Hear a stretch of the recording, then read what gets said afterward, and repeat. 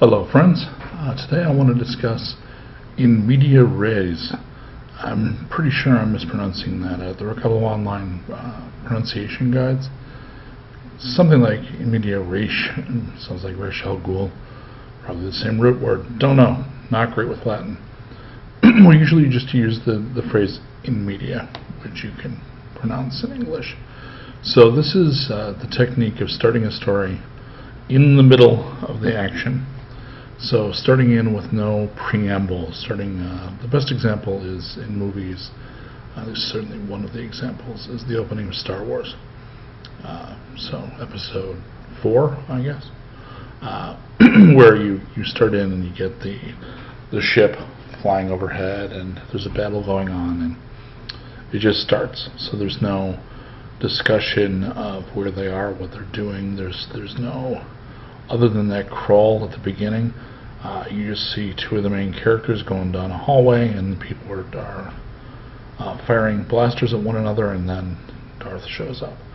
Uh, so this drags you right in because you're immediately wondering what's going on. Uh, you're invested in the characters that you see. You see R2 and 3PO uh, right away and you have a connection to them because you know what are they doing? Uh, they seem very alarmed. I hope they'll be okay. All good. Um, so this same technique can be applied to role-playing games. it's uh, I've used it in improv on stage. Uh, it gets you past things, which is why it's so useful.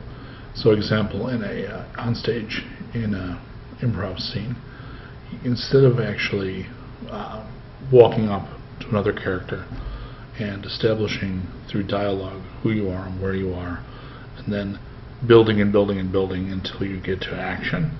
You can begin with an action. Um, there was a scene I started with a, a friend where uh, they walked up and slapped me. And instead of walking up and saying, uh, hey, Dr. Thompson, you know, establishing that I'm a doctor of some kind, then we have to build what our relationship is, but we're there, I got slapped. Uh, there was an immediate action. There was an investment between those two characters. The audience was very interested, and it turned into a great scene. the same thing can happen in a role-playing game. So instead of starting with uh, beginning in an inn, and you have to talk through what's where you're going, why you're there, uh, what the problem is, what your conflict is, you can actually begin right out of the box. Um, I've used this from time to time, and uh, I used it more often at first when I was experimenting with it uh, for convention games. In a convention game, you have a very limited amount of time in a very narrow context to build interest and investment and get everybody um, on board with playing a game that they're um, engaging with. It's your main um, enemy uh, time, being efficient with your time. So in media, goes past some of that building levels, building interest. Uh, you can shortcut and go right to it. The first time I saw this used in a role-playing game uh, context was the West End Games version of the uh, Star Wars role-playing game. It actually discusses it as a as a tool and uh, tried that when it was suggested and uh, works. So in, in a role-playing game to use in media, uh, you want to get everybody set up, have them sit down and then begin with something. Uh, I'm very fond of everyone make a saving throw. Uh, very few statements, certainly in Dungeons and Dragons, that have there are few statements that have more power than make a saving throw, right? Um, it's one of the most uh, high impact things that you can say. Everybody is immediately invested because, geez, saving throw, what could happen if I fail, right? So uh, that will bring people in. Uh, the other thing I've done is I have had everybody roll a certain number of dice and then they take that much damage. so I will often weight the dice depending on what rank they often fall into in a combat sense. So the frontline fighters, I'll, I'll give them, you know, say out of the blue, like four six-sided dice. They take that much. Back rank maybe takes three, and if you have a protected rank, Maybe they only take one or two because the whole point of the other ranks is to keep them safe. Um, don't explain, just have them take the damage. Because that immediately begs the question, oh shit, where do we take the damage from? What's going on, right? Um, so, when doing this, a couple of things you need to make sure to do.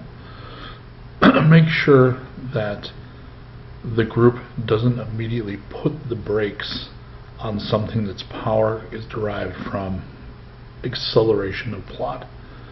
What I mean by that is player characters, have, players being what they are, have a tendency to uh, question everything, often in unproductive ways, because their character means a lot to them. So they have a lot. They're not playing at the $5 blackjack table, they're playing at the $50 blackjack table. The stakes are always very high for a, a player that cares about the game. So one example is, we used to use this as a joke all the time. one of the campaigns I ran for years and years and years, um, I remember at one point I tried a, a, technique like this, and I started the session by saying, um, "You've been arrested, and uh, you're in jail for six months." And that was meant to be a lead-in. Now there are going to be important characters in the prison. Escape. Adventure begins. one of the players immediately speaks up and says, "Okay, day one," and he's got this whole list of things to do. Um, to try to avoid the setup. And so from that point onward, anytime somebody tried to uh, do what would be a transition in a movie, they, they would, we'd always just say, day one, you can avoid that reflex. One, if you have the the inherent trust of your group, that's pretty important. You know, if if they know you're not going to just screw them to screw them if they do something wrong, but they trust you as a narrator and a storyteller, and they'll go along with uh, setups and twists. You have a lot more latitude in what you can do and how you can do it.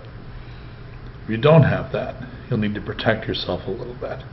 So you'll need to do things like make sure you establish uh, things like what spells people typically have memorized uh, they'll need to have like a general set of spells so that their first question isn't, well, what did I think I was doing this day? And they want to go in and rememorize their spells.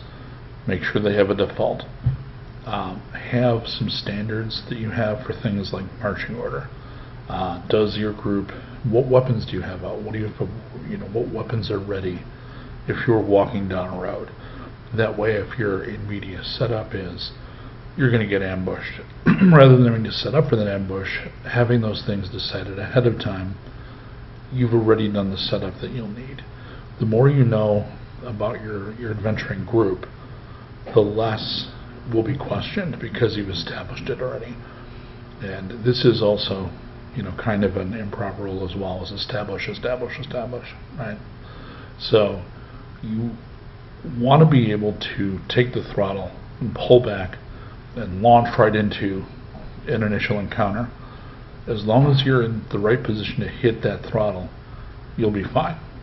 Uh, you may, the first couple of times you try this with a group, uh, you may need to talk down the uh, panic that some people are going to feel and uh, let them know, okay, just roll with this, you know, let's move forward and, uh, you know, there's a story coming, trust me. So the, the next thing I'd warn about is um, make sure if they've given you that trust and you launch in that way, uh, make sure that it leads somewhere interesting, right? Because you, you've taken the, uh, you know, using the metaphor of the throttle, you know, you just went from 0 to 60 in, in uh, two seconds. Well, where are you headed? So if it's just some meaningless combat that doesn't connect to anything or, or meaningless encounter.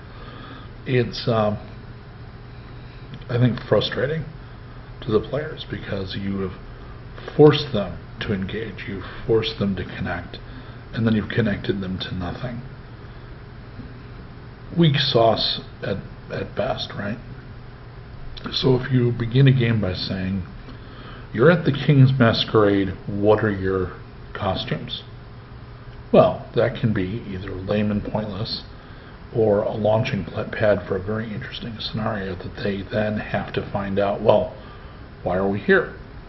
Don't make them go investigate to find out the answers. Use in media to start, but then in the example of the masquerade, make sure that fairly shortly after a little dancing, maybe a couple of reform rolls or something, their contact in the rebellion comes dancing up. You know, good. We are glad to see that you're here. Ah, you're dressed as a fox. Fitting, given our plan. Give them something to connect to. Give them a reward for playing playing along with you.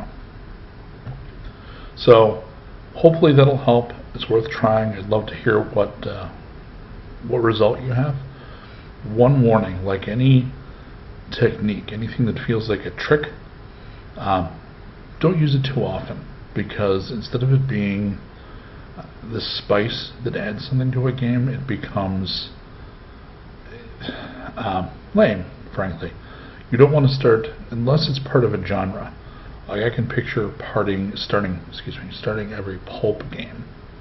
If you have a setting that's uh, uh, kind of a Doc Samson, something like that, you could theoretically make structure your game in a way that uh, every game starts with the reverse of a cliffhanger. So we open the game and you're hurtling along in your car, and uh, up ahead uh, there's a team of horses running away, and the man you're chasing is on the black one in the lead. What do you do? Generally, just pull this out every so often, just to liven things up, get them invested, grab them, and take them someplace cool. Great? Great. May all your saves be 20s.